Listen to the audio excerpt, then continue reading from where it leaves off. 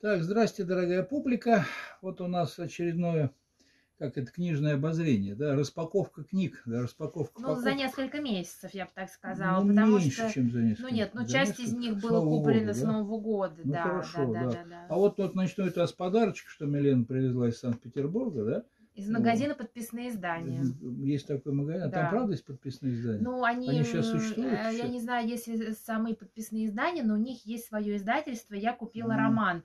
А Я не привезла его из Ага. Москвы. Я думаю, что мы в Москве сделаем, может быть, Мгм. мини Мгм. распаковочку книг, которые Мгм. есть там. Вот. А я привезла очень интересную книгу. Расскажи про нее. Это Владимир Пеньяков. Пеняков он на самом деле. Владимир, он пишет о своей, э, значит, э, жизни, о своей службе.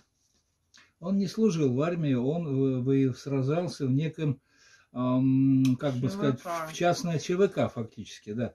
Э, В ЧВК он сражался с Гитлером и Муссолини на территории Северной Африки. Вот, оказывается, в Северной Африке, когда шла война против Ромеля, да, против немецкого значит, командующего, Там были мемуары Объединенные. Ромеля, кстати, но я решила, что те, наверное, они, Они есть. есть, есть. Да, мемуары поэтому, да. Мемуары, ну, это про Ромеля, наверное, но мемуары Нет, Ромеля, как- наверное, не успел написать. Там какие-то особенно. его там есть, там записные книжки, что ли, Записные не знаю. книжки, может быть. Такого у меня нет. Вот, вот, вот, вот, вот, они, значит, создали. А Пеняков, он, естественно, потомок русских иммигрантов. Ну, вот, на англичан работал частная армия, наемники, пожалуйста. Называется она «Частная Армия армия Попс- Попский» Владимир Попский. Пеняков. То есть тут вот такая красивая обложка. Ага, Вот. То есть это, я так понимаю, его воспоминания. Тут даже картиночки есть. да, фотографии. Я не могла даже знать, что я везу, потому что книжка была запакована. А Да. вторая книга это а, от того же автора, что мы показывали на, на фестивале в этом году, а, значит, Николас Старгард. Это «Мобилизованная нация. Германия, 39-45 год». Вот расскажи про книжку. Тут, э, скажем так, жизнь э, детей при нацистах, так называется. Ну, тут потрясающие подробности, как дети играют во что, да, особенно дети, которые вот, ну, не те, которые чистокровные арийцы, а те, которые попроще. Вот они играют в экзекуции, в сжигание в газовой э, вот в загрузку в газовую камеру, все такие вещи. Есть воспоминания э, члена зондеркоманды. Он, значит, зондеркоманда, это тот, кто из военнопленных формировали. Вот те, которые э, уразмещают людей, которые осуждены быть отравлены, и потом выгружают их из этой газовой камеры. Да? Ну вот они, кстати, были свидетелями этих событий, и даже эм, некоторые из них на всякий случай в каких-нибудь бутылках, в банках герметичных закапывали вот свои свидетельства, и, соответственно, туда же этикетки вот этих вот у- у- укупорок для, э, так сказать, циклона Б, и вот это все они закапывали в пепел. Ну, придут, будут раскапывать и найдут. Ну, действительно, пришли, раскопали, нашли. Да и они, они их не всех немцы успели уничтожить. Вот такая вот печальная книга, но толстая, большая книга. Я, кстати, хочу купить еще на Озоне. Продается книжка, стоит 500 рублей. Если хотите, пришлите нам донат, я ее куплю и, про- и прочтем ее для вас. Мгм. это тому, чему учили в нацистских школах во времена нацистской Германии. И можно я еще добавлю от себя? да, это не пожалуйста. вот не совсем этот год, но это книжка Ханс Фалада «Один в Берлине» или «Каждый умирает в одиночку». А вообще Ханс Фалада он был такой из коммунистов, из писателей, там много писал, по-моему, там книжка что там «Человек человеку волк», вот, а, и в отличие от Ремарка, он остался во время а, Второй мировой войны в Германии, а, работал, по-моему, где-то на территории Франции, его за это очень осуждал Ремарк, даже что-то сумел написать э, во время значит, Второй мировой войны, и вот эту вот работу он пишет в 1946 году, когда в тот год, когда он умрет. То есть это история, Берлин, 40 год, то есть э, Франция уже покорена,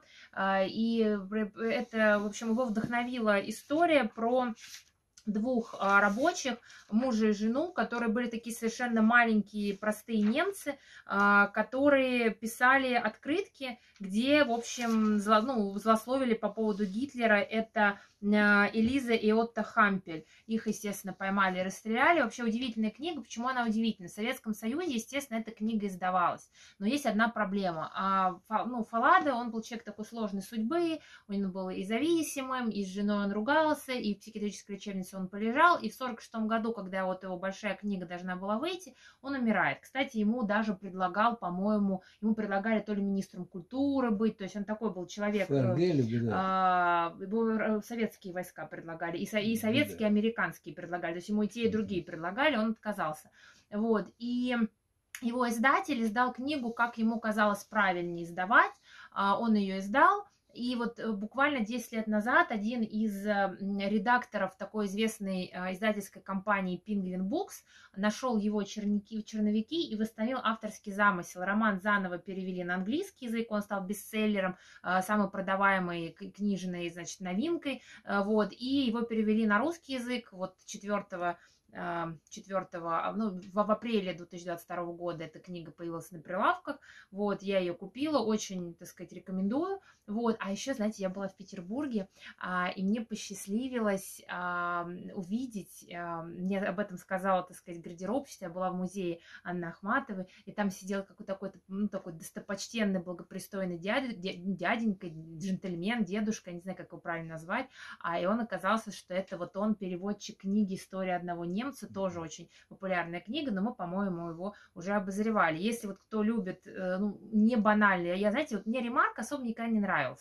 А, у него есть как бы сильные моменты, но герой у него плосковатый. А вот здесь меня просто поразило, ну, вот какие-то вот персонажи, ну, как-то вот, ну, в общем, отличная книга. Найдите, прочитайте. Да, следующая книжка из свежих покупок. Называется «На алхимии жизнь». Написал ее чернокожий автор. Айниса Рамирес. Ну, в Америке она, учился. Она профессор, это она, и это профессор это Ельского университета. Да, но она чернокожая, была. да, чернокожий автор, все правильно сказал. Не авторка, автор, я все по закону говорю. Вот. Алхимия и жизнь это не про алхимию, не про какую, это про то, как, э, вот тут под заглавие, как люди и материалы меняли друг друга, да, как человечество меняло Значит, ну вот эпоха великих изобретений, вот так скажем так, как они в нашу жизнь входили. И вот как они плотно вошли, тут даже есть э, картинка, а там ведь на один из Вояджеров э, поместили золотую пластинку, на которой кроме картинок всяких есть еще э, запись звука. Звуки Земли там записаны. И э, там на другой стороне инструкция, как их воспроизводить. Вот интересно, поймут инопланетяне или не поймут, как надо проиграть фонограмму. Это еще фонограмма, ну, времен почти что э, Эдисона, да, ну вот такие, такая технология, самая простая, тут что не ошибешься. Да, пожалуйста. А, ну, тут такая книжка более поп. А, я люблю такие книжки. Джозеф Гис и Фрэнсис Гис. Это называется «Жизнь в средневековом городе». Тут даже хвалит Джордж Мартин, видимо, он, э, когда писал «Игру престолов», вдохновлялся. Там есть целый цикл в издательстве «Калибри», по-моему, «Жизнь в средневековом замке», «Города и люди». Вот, то есть, э, ну, это 13 век, действие разворачивается, уже такой поздний средневековье. Да? Нет, это не роман, это просто вот как жили люди, а. как работала городская администрация на примере одного из городов. Вообще, одним из самых классических трудов является описание жизни французской деревни, которая мы узнали благодаря уголовному процессу, который один кардинал, который впоследствии стал папой римским, вел. И он очень свои как бы вот работы старался сохранить. И там якобы были еретики, и как вот он их допрашивал, он узнавал, как там жили люди, что делали, как вели бизнес, как вели хозяйство. Вот. Но это более такая популярная история. Мне кажется, вот для... Ну, вот тут картинки есть. Ну, Жанр нон-фикшн. Да, ну, мне кажется, это такое, знаете, для детей, для подростков, просто такое легкое чтение это, значит, читается легко. Да, читается, читается легко. легко.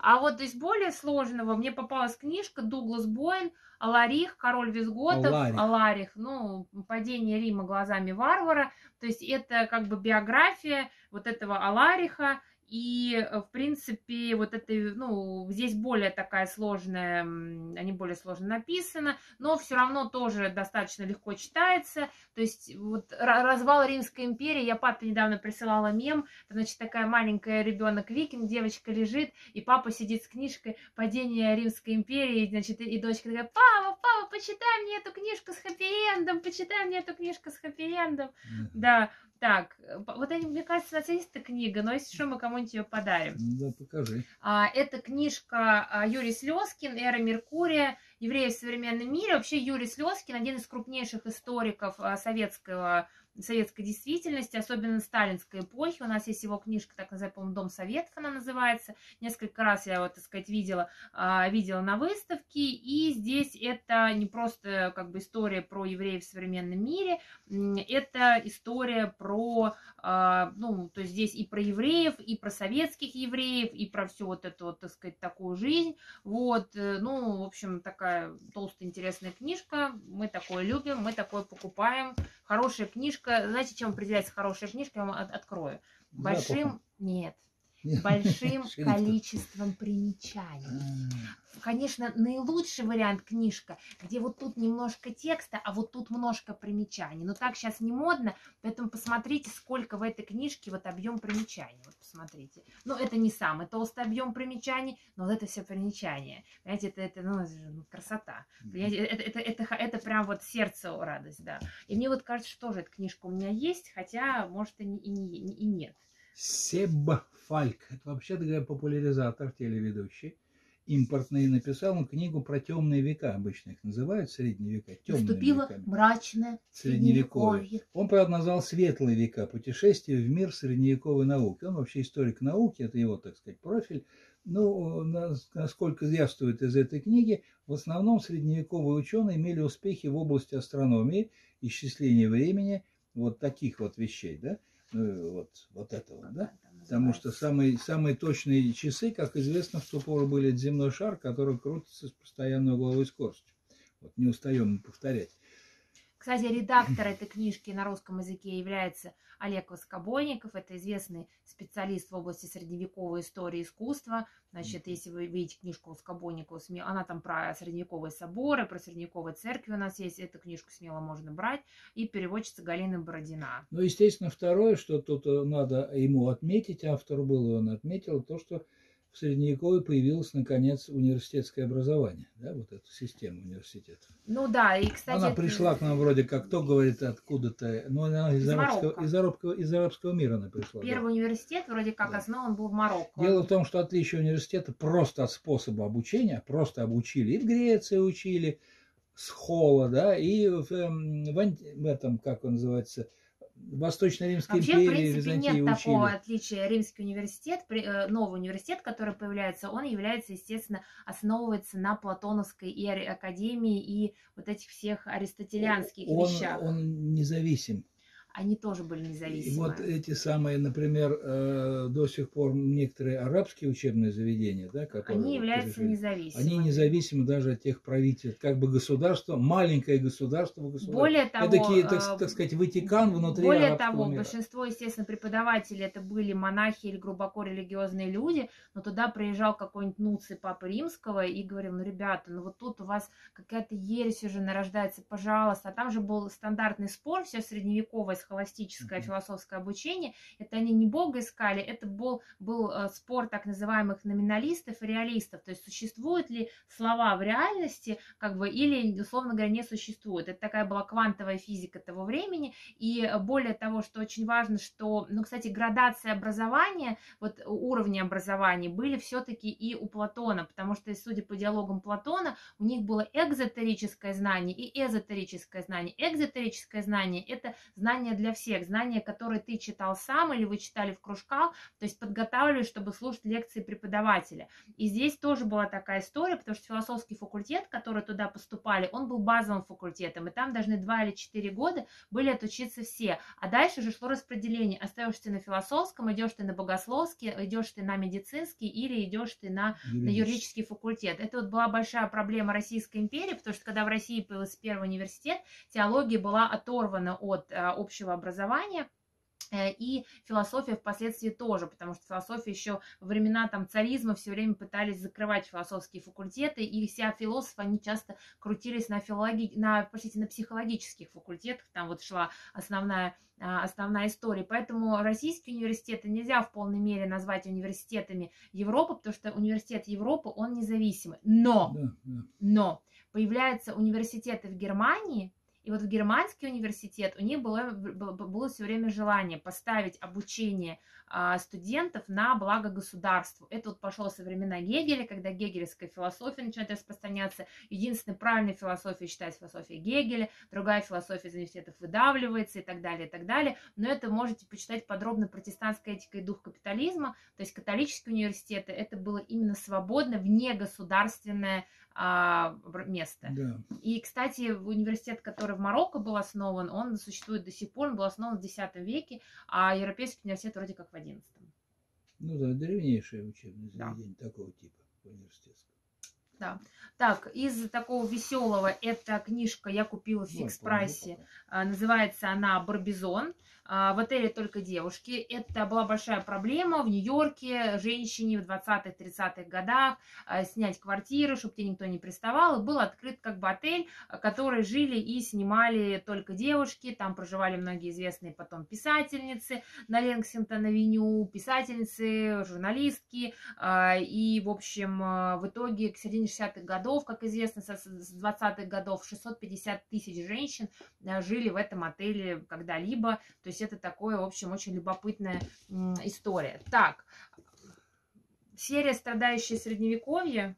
А, кстати, у меня еще была одна книжка, она в Москве осталась. А, я, кстати, про эту тему, про евнухов Византии, хотела рассказать. Я эту книжку начала читать на английском, и оказалось, что Андрей Виноградов перевел нам книжку Шона Тафера а, про византийскую историю. Вообще, кстати, надо рассказать, что огромная Византия, ну, как бы та часть, вроде как, восточной а, так сказать, Восточной Римской империи, которую мы наследуем, она вообще славилась своими специфическими сексуальными практиками. Мы не будем тут говорить о благословении мужчин, там всяких, это Панасенкову, а здесь у них был целый кластер евнухов, которые в первую очередь занимались пением и политическими интригами.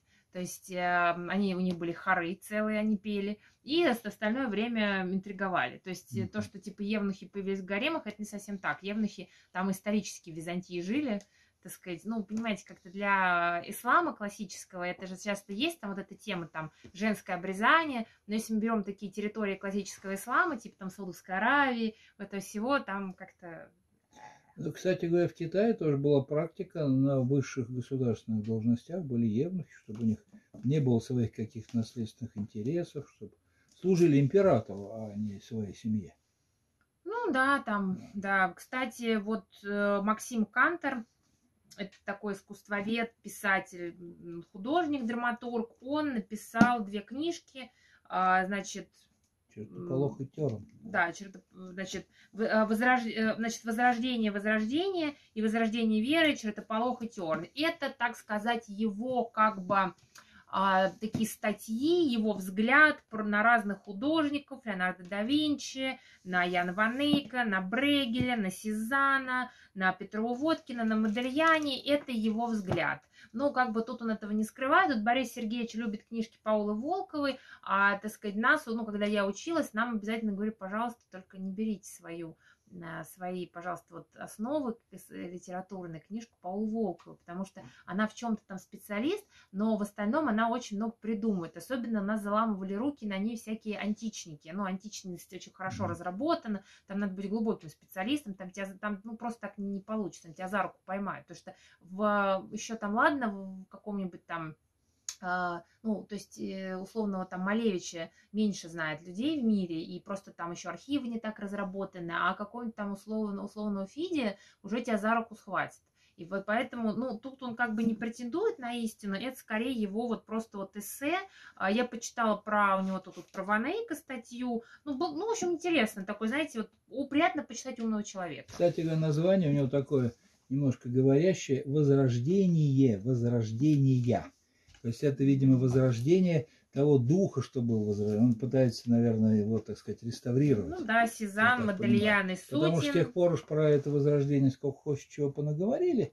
Понаписали, уже как-то по-другому представляют. Ну, кстати, э, вот у нас был любимый товарищ наш э, философ Бердяев, он говорил, что вот хорошо бы возродилось средневековье, тут к отсылке книжки «Светлые века», что вот средневековье был, была трушная вот эта вот история духа, где дух был совмещен вот с познанием, и все это шло в нужном направлении. Главное, что человека типа не отдирали от э, мира. А тут, значит, у нас наступил 20 век, человека давай мы сейчас переделаем, люди плохие и так далее. Ладно, книжка Афины, а, Брюс Кларк, история города-государства, ну, то есть история Афин, потому что мы Афин в основном знаем до какого времени, ну, там, до 4-3 века а до нашей эры, римляне пришли, Афины захватили, и все. То есть как-то дальше знаний нет. А здесь что происходило? И когда турки их завоевывали, и как Афины жили, и, в общем, что было, насколько я понимаю, по-моему, даже да, 1914 до... Год, и, да. в общем, все эти сороковые годы. 2014 тут еще помянут. Да, то есть до современности. До современных, да. То есть довольно интересно. Ну, это такая, такая книга. Да, ну вот у нас таких книжек много. Это э, как писать захватывающие сцены, диалоги для кино. Ну, просто я увидела, я люблю такое подсчитывать, э, довольно любопытно. Не знаю, может, ты еще еще прокомментируешь? Линда Сегер и Джон Рейни написали. Важно. Это, это американцы, естественно, да? Ну, скорее всего. Ну, да. Америка страна кинопроизводства, которую всегда пытались копировать у нас. Помнишь, этот был, кто там был хотел? Шумяцкий. Шумяцкий захотел завести методы американского ну, он, и он и завез, он даже книжку он написал завез, «Кинематографии миллионов», но его но, в 1937 году расстреляли. Ну, так он не смог добиться того, чтобы кинопроизводство работало, а все тут только вот Эме, творческие 310 дней простое было на, да, на Мосфильме да, из 365. Да, да, да. Ну и поэтому его не могли вытерпеть. На него Эйзенштейн тоже капал, капал, ну, капал. Ну, они на друг голову. на друга капали. Ну, наверное, ну... Шумяцкого ругать за то, что он рассыпал фильм «Бежен лук» Эйзенштейна. Но mm. Эйзенштейн вышел, а Шумяцкого и Ниссона, который Ниссон это был, который с Александровым снимал его первые вот эти крупные, принесшие известность работы «Волга-Волга» и «Веселая ребята, его расстреляли тоже. Ну, в общем, да. он тоже, кстати, написал. А эта книжка прям, которая может для дома до семьи, Джон Финли, История искусств. То есть такая, ну, книжка основная, здесь картиночки, описание, просто вот что было, вот тут Эль Грека. То есть это вот для начинающих, не скучно написано. Почему, например, вот Эдуард Мане, его обнаженные люди сидят тут такие, даже тетеньки не шибко обнаженные. Почему завтрак на траве э, Эдуарда Мане, Клод Моне, Эдуард Мане, А-А-О-О. Значит, почему она вызвала такой огромный скандал? Тут, ну, в общем, здесь э, с какого времени начинается, да, я посмотрю, тут, ну, начинается здесь э, способы видения искусства, ледниковый период в Европе и дальше сразу итальянский ренессанс. Ну, да, это... вот появление искусства вообще загадочно, оно появилось э, в достаточно давние времена, еще до того, как появилась... Люди нет, люди появились до того, как получил, появилась стратификация в обществе. Это я тебе рассказываю то, что мне говорили ученые из Дарвинского Расскажи. музея. Вот они, значит, ну тоже для них очень важный объект это вот изучение живописи вот этой наскальной. И вот та эпоха, когда еще в обществе не было явного, так сказать, вот, эм, ну, как сказать, деления на классы, да, как говорят бы по-марксистски, я не знаю, как лучше сказать, то тогда это был, значит, рассвет эм, как это называется, анималистической живописи, причем совершенно шикарной. А, например, из этих картин узнали, что у мамонтов был специальный клапан, который закрывал задний проход.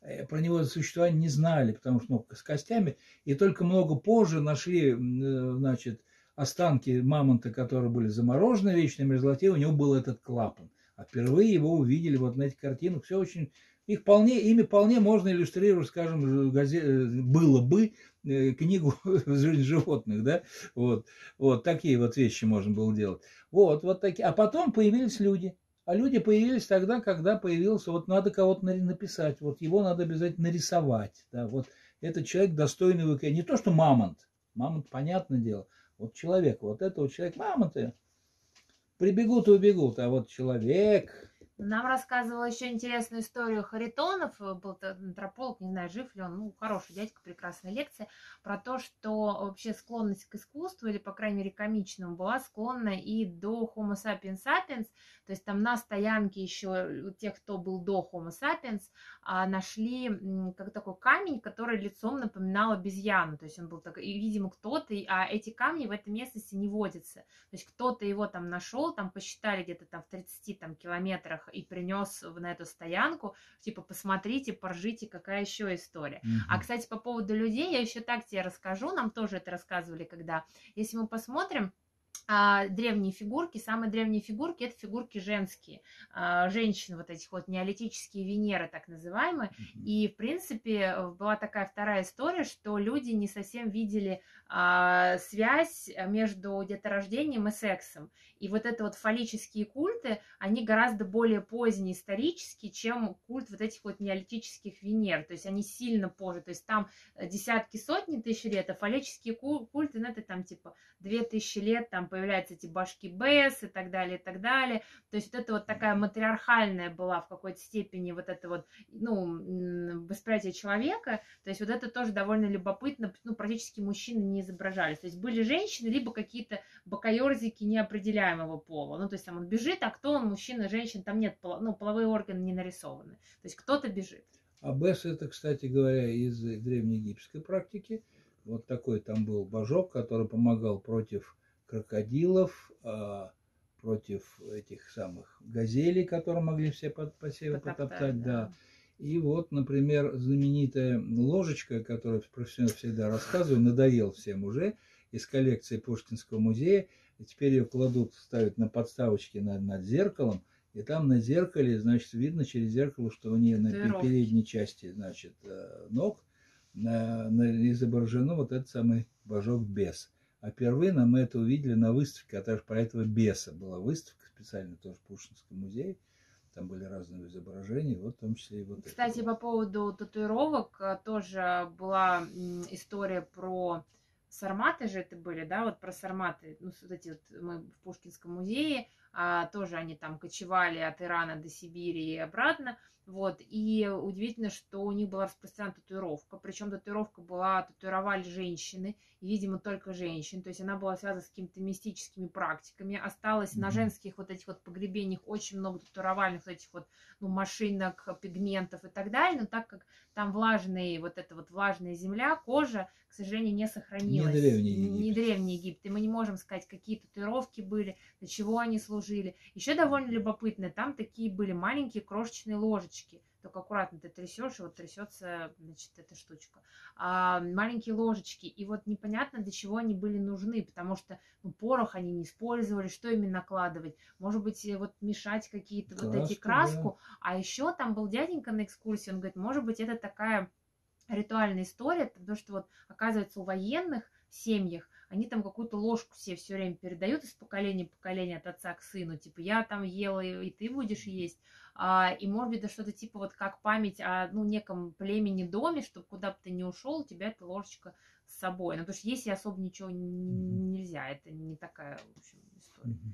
А вот еще книжка «Русский авангард», издатель Андрей Соробьянов. Это хорошая, в общем, книга, хороший дядечка. Он стал собирать и датировать работы авангардистов – советских и проводить в Москве крупные выставки в центре авангарда. Вот, ну, вот, по-моему, первая была лет 10 назад. И благодаря ему было найдено в провинциальных музеях огромное количество а, работ известных а, советских авангардистов, которые, естественно, после публикации а, статей там, о запрете всяких вот этих вот формализма были забыты. И вот это, ну, просто очень хорошо издано, хорошо написано, так сказать, автор профессионален, издание, все понятно, можно, так сказать, эту жизнь жизни, так сказать, э, ну, в какой-то степени обозреть, да, то есть просто вот, ну, любопытная книжка тоже подойдет, условно говоря, но не прям совсем для начинающих-начинающих, но для тех, кто вообще интересуется.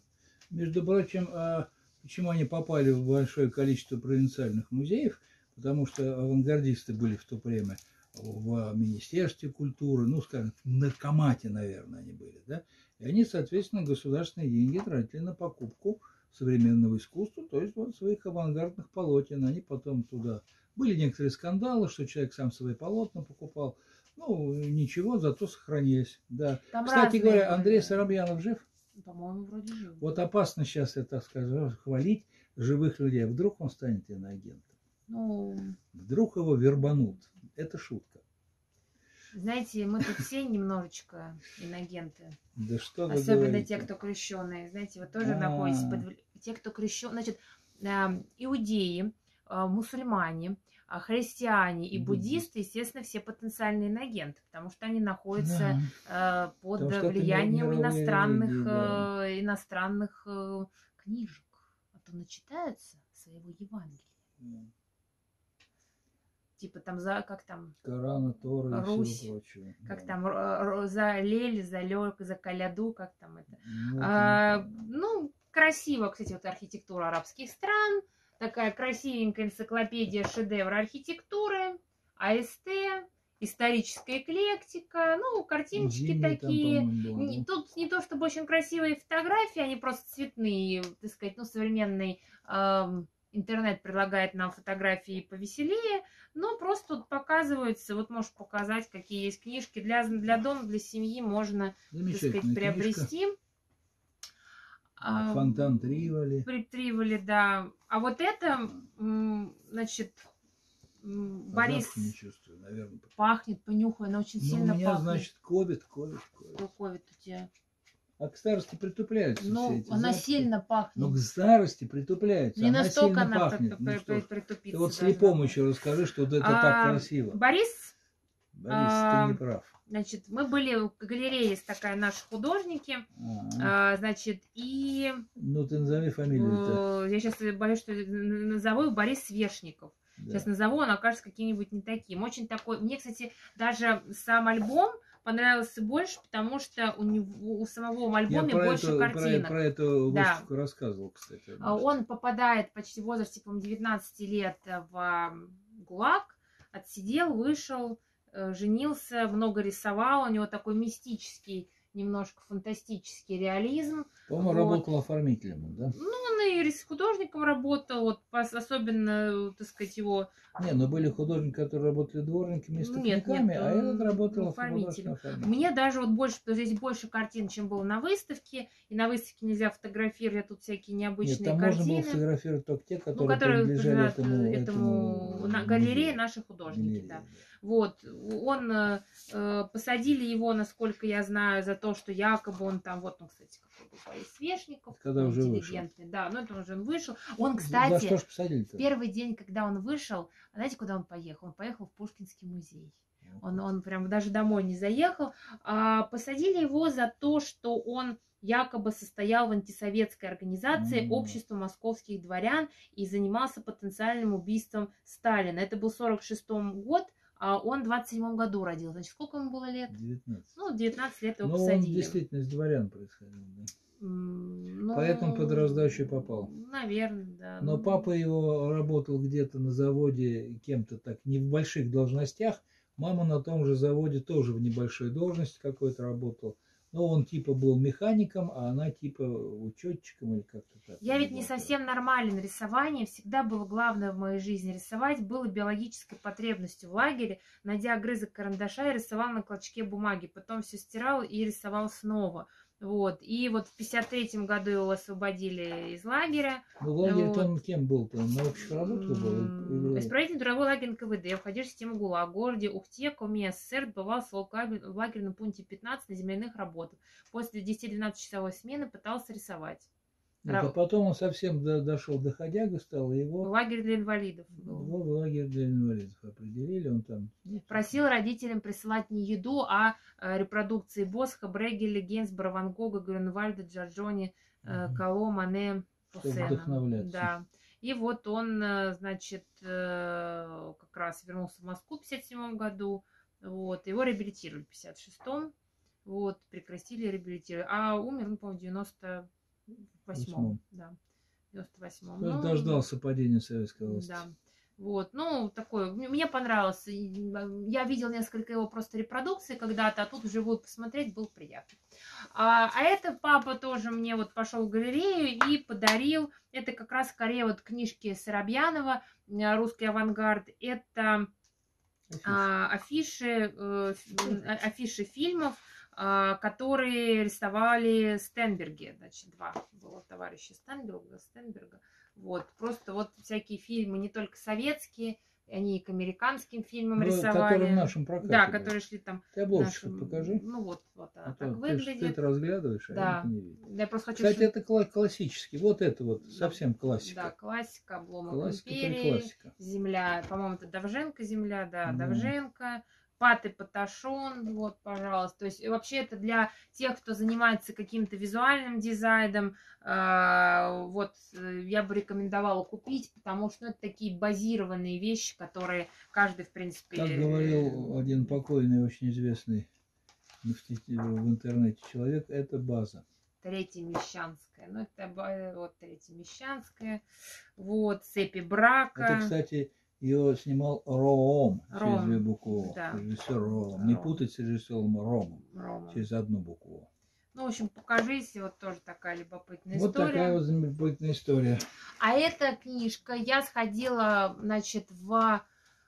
Когда я была? Это я была летом Петербурге, и там была на Севкабеле выставка, посвященная истории комикса в Японии. Он, оказывается, был до манги, то есть там были у них, например, там остановки, там как, какой-то там, значит, какому-то от одного города другой, там серии станции, да, называли, да. рисовали. Потом там всякие у них Да, были... путешествие императора, и вот каждую станцию, как они говорили, Да, рисовали. и, и там были Гравюры были. гравюры, и плюс еще там были просто там история про каких-то кроликов, там у них была эта книжка, потом еще про театр детский, который переходил от дома к дому, они все его там, значит, тоже показывали. А это вот Матье Пинон и Лоран Лефевр, удивительно, что ни одного японца нет, я таким книжкам не очень доверяю, но это тоже издательство Бомбора, значит, э, просто про историю манги. Я плохо разбираюсь, значит, в ну, Японской японской культуре, вот именно этой.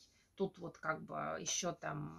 вот эти- А, кстати, еще во времена, когда там были британцы, они стали японцы делать такой карикатурный журнал, как у британцев, про Японию. Но он долго не просуществовал, сказали, типа, «За- закройте. Но это было... Сказали, что вы японофобы, Ну, да. мы вас объявим иностранными агентами, и вам придется сделать сипуку. Да. И они кто. Ну, короче говоря, эта еще книжка вышла до цензурных, а, значит, всяких ограничений, поэтому там упоминается манга «Сердце Томаса», э, которая является жанром сёнз- с- сёнэн ай. Я не буду уточнять, что это такое. Желающие могут и сами, Сами догадаться. Вот, э, книжка очень красивая. Давайте что-нибудь приличное. Ой, нет, это не подойдет. Это не Ну, что-нибудь да есть. Вот Ну, с котомкой-то кто-то. Какой-нибудь. Вот, Вот мальчик и девочка. ну, точно. Ну, все, на э, это можно. Это можно, да. Это можно. Вот, вот тут красиво издано, много таких вставок. Я в детстве, у меня были такие книжки, не помню, даже где-то здесь стоят, по истории, и там был текст, и много всяких картиночек. А, да, да, да, У меня, да, да. кстати, вот, ну, был, но, не, но не полное собрание было сочинений, вот там такое очень было. У меня еще была энциклопедия Дорлин Киндерсли, вот эти вот все картиночки, там все подписано, там что-нибудь.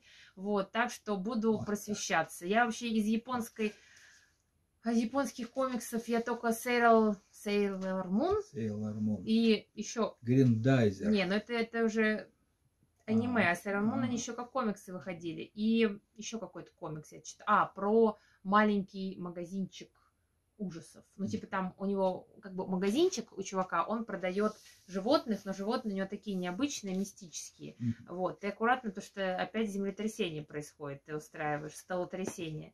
Вот, Столоверчение. столоверчение. Ну вот буду, то, что я, в общем, Утену посмотрела, это вот буду смотреть что-нибудь дальше, что интересное. Там обычному зрителю, который вот э, смотрит такие наши видео, у них, значит, э, комментарии. Нет, ну зависть я не назвал, они так не говорят, ой, мы вам завидуем.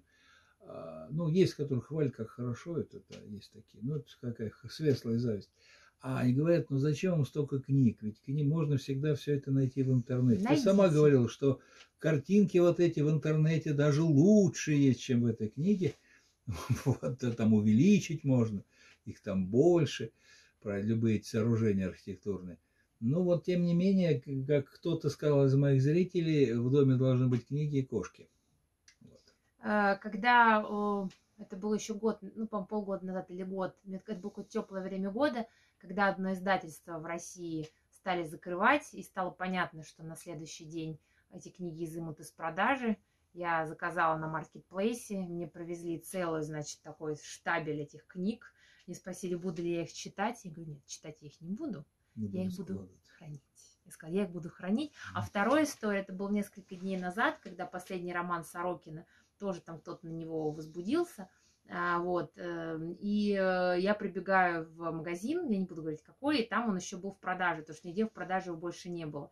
И женщина на кассе говорит, вы мне объясните, он что, умер? Я гуглю и не понимаю. Все идут сегодня к нам покупать эту книгу.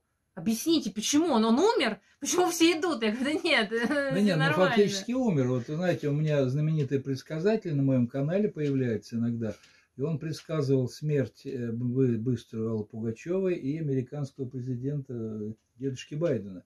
И вот они оба умерли, да, это считается так, потому что, ну, ну морально все, а что такое теперь Байден? Да никто, хромая утка, его не выберут, а только и Пугачева. Да где она выступает? Ее ни на какое телевизионное шоу сейчас не пригласят. Все, считай, что они мертвые. Все, предсказатель прав. То есть я, я бы кого не приглашаю. Четкий предсказатель. Я просто могу сказать, что я э, песня Самутина, ну, Алла Пугачева, я знаю штук 7 наизусть. А песен, кто там у нас сейчас, не Анна знаю. и Асти, не знаю ни одной. А я такого не знаю тоже. А это вроде девочка. А не Асти. Я не знаю, это какая-то я, я, я не знаю их Ну, ты просто тебе не нравится они, все, так это все. А мне не нравится, не нравится. Я Пугачеву тоже не отношу, она ну, тоже индифферентна. просто все слышали. Все слышали. Это целая эпоха. Э, политические деятели эпохи, Аллы Пугачевой. Это да. статья в Академии, в, этом, в энциклопедии будущего про Брежнева. Ну, я считаю, что Политика и Алла Борисовна все равно Пугачева. переживет всех. Да. Как бы кто бы ей не завидовал. Она не иноагент.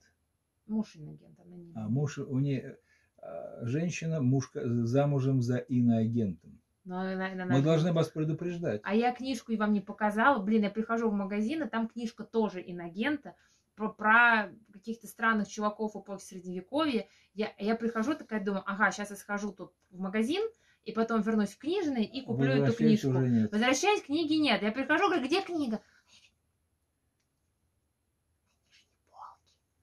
Уже убрали.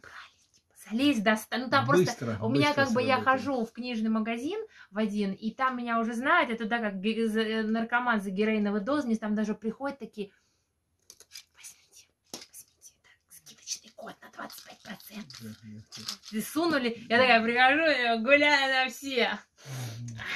Красота. Красота, да. Ну вот и мне, в общем, сказали. А так, наверное, могли бы и не сказать, могли бы не продать книжку, но я не вижу в этом какого-то, в общем, смысла. Вот. Ну, спасибо, дорогие зрители. Ну, спасибо вам большое. Да. Приходите к нам еще. Хотя в книжную тему, наверное, Борис Сергеевич отдельно, может а, быть, запишет. я вот могу сказать, что мы сегодня были мимо, мимо книжного проходили, в книжном сегодня не были а были сегодня в кино. Замечательный фильм был про мастера Маргарита, Маргарита прекрасно сделанный. Особенно мне там запомнился исполнитель роли Воланда. Это был немецкий актер. Август вот Диль. прям, а, как Август? Август Диль. Август Диль. Но вообще говоря, у нас, так сказать, как-то вот в мое поколение а, к немцам таким вот настоящим, таким картинным немцам очень такое симпатичное отношение. Я вот вам напомню, враги они, да, враги, все правильно. Вот Но красавчики. У, да, красавчики. У Лема, у Станислава Лема, так положено говорить, мне сказали, у него есть произведение, у него есть несколько произведений про войну. Их мало кто знает. Вот, и там, значит, вот э, стоит кто-то, а Станислав Лем, кстати, еврей, который всю войну косил под поляка, ему ничего не было. Вот, а, и вот, значит, там Повезло. стоят, ждут своей очереди, и вот э, герой, который стоит, ему вот этот вот немецкий офицер, весь такой с иголочки, в черном, с белым платочком, он прям кажется богом войны таким, он ему действительно очень симпатизирует. Ну и в наших фильмах, тоже вот в фильмах начала 70-х годов, немцы все-таки были импозантные, костюм с иголочки, автомат он в живот упрет, ду-ду-ду-ду-ду-ду. Вот это у нас, да и в моем поколении ну, было. Тут он без автомата. Единственное, что я скажу минус, здесь Воланд ходит с а, тростью, на которой голова Анубиса. Да. В реальности он должен с какой тростью ходить? Какая голова должна быть? Не знаю, какая. Пуделя. Потому что Пуделя. именно в виде пуделя Мефистофель является доктору. Фаусту А первый раз. у, у автора... У автора так, пудель. пудель. У автора пудель. Вот это вот единственное, что, Видите, так как. сказать, поставим на... Ну, кстати, на В удивление... конце, кстати говоря, они стоят и любуются на то, как горит Москва. Но не на Москва реальная или Москва реальная А 30-х проектная. годов, а некий сталинский проект. Вот эти вот э, сооружения, дворец советов, еще что-то, вот это там происходит. То есть там такая сталинская э, Москва, которая так и не была осуществлена. Ну, это сталинскую Москву, которая не была осуществлена, можно сходить и посмотреть в музее Щусева. Там иногда бывают выставки на Ну, эту тему. много, да. И вообще там... Я всегда мечтала, был такой, по-моему, фильм «Небесный капитан. Мир будущего». Там какой-то вот такой вот а, стимпанк. И мне всегда хотелось, чтобы сняли вот такой фильм, чтобы все вот эти вот взяли или игру сделали, все вот эти сталинские проекты, которые хотели, и там не только сталинские, а вообще авангардистские, сделали как бы такие локации, чтобы по ним можно было там бегать, а был ходить. фильм по книге, кстати говоря, иноагента, не буду его называть. Там был детективный такой Ну, сюжет, там был, там Берия был, и ну, все. нет, И Сталин ну, налюбовался Москвой с балкона Дворца Ну, Советов. хуже. Вот, вы знаете, очень красивый фильм. Все-таки «Мастер и Маргарита» очень стильно сделан, хорошо подобран актер. Мне, вот я могу все сказать, мне единственное, наверное, вот из актерских работ не понравился Иван Бездомный. Он как-то немножко переигрывал, мне показалось. То есть, м- ну, может быть, знаете, не виноват не актер, а ему режиссер сказал, вот такой у тебя рисунок роли. Потому что даже Марат Башаров, которого я очень люблю, так сказать, алкоголика, в квартире которого происходит бал, значит, станы, сыграл очень великолепно. То есть он хорошо сыграл. Вот, ну, все хорошо сыграли, мне понравилось. э, Вот, ну, тонко они за- закрутили вот эту литературную основу и сам роман, и вот эти вот все события, потому что все-таки Да. как-то вот и, и сцены... И сыграно хорошо. Ну, фильм, конечно, антисоветский, но у нас сейчас очень многие советскую власть ассоциируют с Россией, говорят, фильм русофобный. Кстати, что такое русофобия? Это боязнь русских. Э, Нас же должны бояться, нет? Это Там, хорошо, а, если нет, нет, это там боятся самый прикол, я, я читала критику, что на последних кадрах горит, значит, купола святой Москвы. Да Нет, ты, там ты, ты Москва. дура, досмотри Да, до конца ничего, кино, там, там ни одного креста нет на весь Там даже. Кремля нет в том месте, где горит Москва. Где горит Москва, блин, Кремль горит у тебя Москва. Ну, Хотя Кремль там показывали. да, горит красиво, кстати, ничего не могу сказать. Там примус кот швырнул. Да, кот примус. Вот. Но котик лучше был бы, как мой, мой Левинбук. А тут какие-то лохматые какие-то Это коты. эти, кадеты Майкун.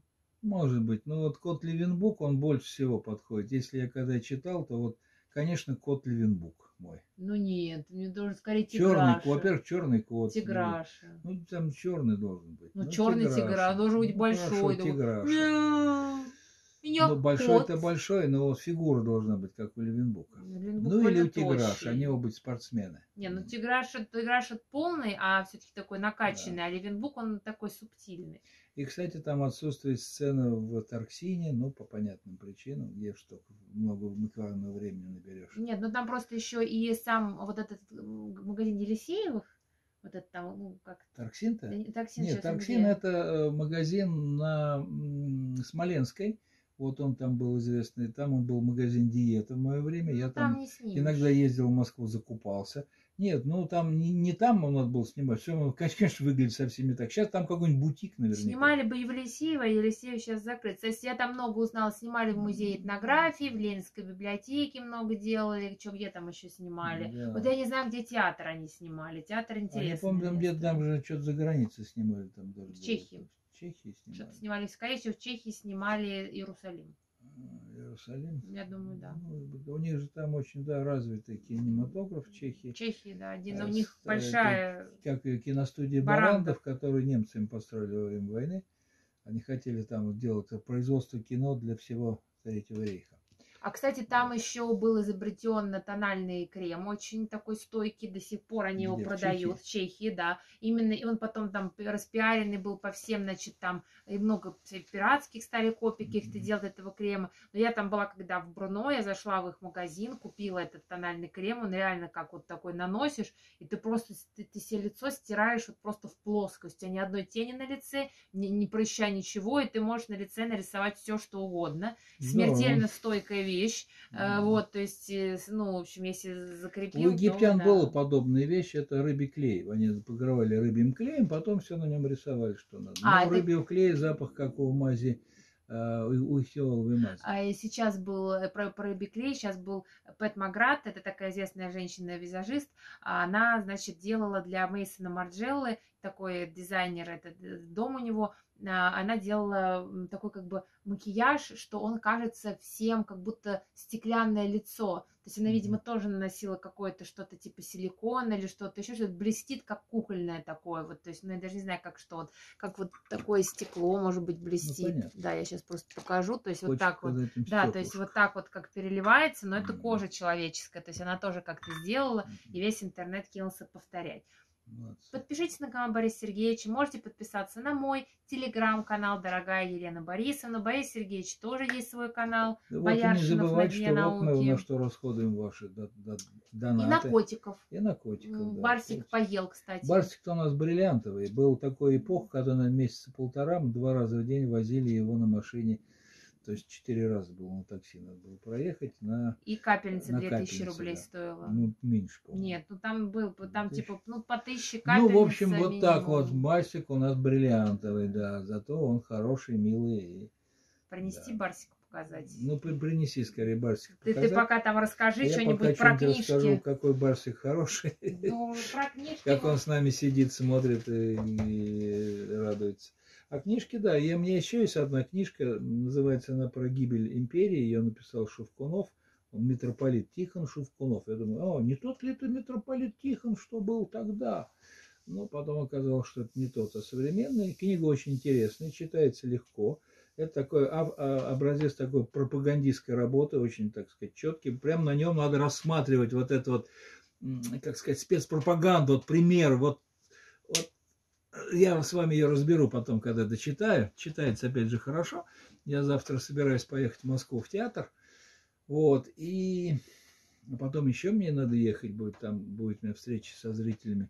С кинозрителями будет встреча. Все, еще одна книга Да, есть. вы А, забыли. вот. Ну, это не наша, но Не наша, сказала мамаша. Вот какая книга интересная. Шьем по ГОСТу. очень популярна сейчас. а вот он, шить. Барсик наш пришел. Дё, борщик сладунец. Сладунец, Барсик. Да. Ну, Барсиленька. Барсиленька. Про него писали на сайте «Жизнь звезд». Писали про него, что он превращается в обезьянку потихоньку. Барсик не ел сутки, а сейчас съел, Эволюция, эволюция. съел целый пакетик и курочку. Барсиленька. М, Барсенька хороший кот, невозможно. Мгм, То есть, типа, целуешь его ты, а когти он пускает в меня. От радости он пускает, это радость. У него восторг, прошу прощения. На восторг нет воспрещения. Вот он, как он смотрит. Победитель, Разбудили кота. разбуди- разбудитель. А ты разбудитель, а он вот такой вот. Торжество. Торжество Барсика. Барсик умный. Я обычно спрашиваю, Барсик, ты хочешь кушать? Если он хочет, он говорит, да. Да, он говорит, да, да. Барсик, ты хочешь Еще он кушать? про курочку очень знает Нет. хорошо. Кушать. Видите, уши. Уши. Курочка. Курочка. Будешь, Барсик? Он уже поел Он курочку не очень любит в последнее Нет, время. он сейчас съел, Да. ку- он сейчас съел пакет и съел курицу, которую ему дали. Меня больше всех радует Левенбук. Он про Да ничего он не про наядец, он жрет. Ничего он не жрет, он прану питается. И еще ел вчера суп. Не бульон. ел он суп, он праной Не кричи. питается. Ну, Барсик меня царапает, не кричи. А то как же так? Вот он возмущен, потому что Ну, наше, чих-чих-чих. наше Ну, не богатство кричи, это Левенбук. Не кричи. Ну, видишь, как то кота Всё, раз ну, извини, извини, Барсик, извини. Иди, хочешь у меня посиди? Ну, Давай. иди. Иди ко мне. Папа выработал историю, чтобы кот не сидел на тебе, он ставит стул рядом, и кот сидит на этом стуле. Да, тогда. кот сидит рядом со мной на стуле. Да, на котором Он приходит ко мне, если я тут на компьютере что делаю. Он ко мне приходит, садится рядом. А так он на шее любит сидеть. У тебя, у Да. меня он на шее Ну, не помещается. Вот он сидит на шее. Он- Куда пошел? Оп, Слез. Слез. Ну ладно, почтенная публика, дорогая Елена Борисовна в телеграм-канале, даже, может быть, оставлю ссылку, если Борис Сергеевич поставит. Поставил, А, вот буду писать про Ахматову и раков, мне тут навели. И раков. И раков, да. Вот этих вот. Крабов, вернее, простите, крабов. А, тоже здорово. вот этих. Вот. а, И деньги присылайте, Борис Да, Сергеевич. деньги будут высылайте, да. Всего доброго.